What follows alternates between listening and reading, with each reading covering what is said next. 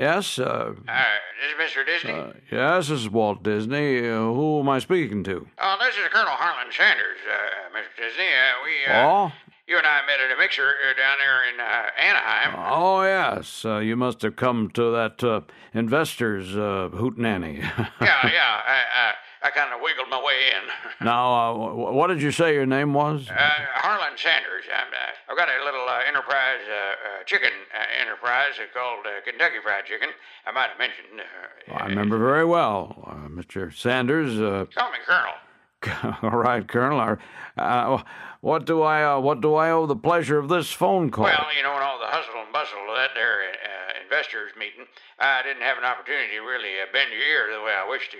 Oh. And uh, just a couple little points that I thought I might discuss with you if you had a, a spare moment. Well, I'm right in the middle of editing a picture right now. We're uh, we're just putting the final touches on a, a picture that I think is going to be just gangbusters. It features. That's all very interesting. I certainly do uh, appreciate uh, you taking the time. Uh, you know, the picture business, that's just, that's something that's way over my head, to tell you the truth. I wouldn't, well, I wouldn't know where to I start. don't imagine it's too different than what you've got going on in your in your chicken realm there. Uh, uh, have you got a series of, of restaurants, uh, franchise, uh, that kind of thing? Well, I hope to have one day. Right now, it's just a couple of outlets, and uh, a lot of it's uh, operating out of uh, out of my own home. But uh, uh, the thing is, uh, you know, sometimes a man's got to take the bull by the horns. You see? Uh huh.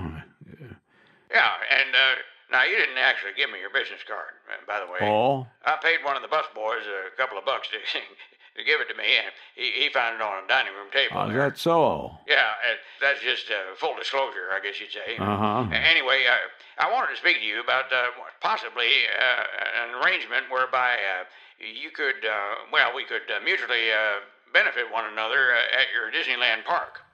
Uh huh. Well, of course, we've got all the rides uh, pretty much spoken for now. Uh, got some pretty big corporations backing some of the attractions. Uh, we've got uh, Monsanto. Well, and, of course, uh, I can't compete with those big folks, but uh, I was just thinking if there's a, perhaps there's uh some sort of an attraction that could be designed around uh, buckets, uh, uh, buckets of chicken. Ah, buckets. And uh, those buckets could, I don't know, spin around in a circle or know, go up and down a mountain or uh, down some rapids or. uh, Well- well, you're the idea man. Or you got a bunch of them on uh, on the payroll. Uh, so may- maybe there's some way that uh, there'll be a thing where uh, people come and they ride your ride and then they get interested in my chicken. Uh huh. Well, your restaurants here could feature uh, exactly the same bucket of chicken that they've been riding around in. I mean, you can imagine that'd be kind of an, a kind of an interesting uh, uh, proposition for uh, Mr. Mr. America. uh, You see. Yeah. Well, I tell you, uh, Colonel, that, that it's ideas like this that have made Disneyland the multifaceted attraction that it is today, and why children and adults from all over the world like to come and spend some time in each other's company, out in the in the sunshine, and uh, enjoying some of the artistry that my Imagineers have put together, and uh, with, of course, the help of of quite a lot of large corporations who are trying to promote their their brands. So Ah, I knew you were tracking with me.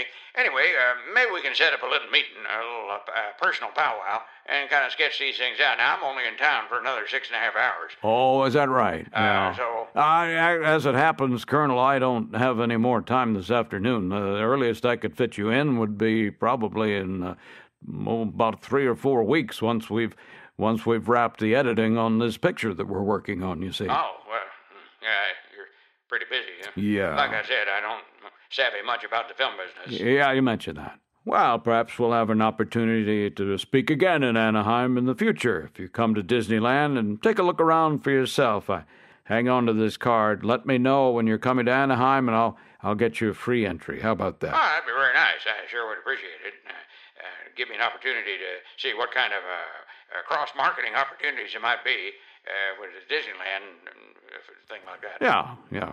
Well, if you'll excuse me now, Colonel, I'll ring off. I've got some uh, dailies to look at. Dailies. Uh, sounds pleasant. All right. Well, thank thank you very much. Bye bye. Thank you, Walt. Hey, probably has people crawling all over him for things like this. I wonder if I might have a better chance talking to that uh, Knott's Berry Farm fella. Hmm.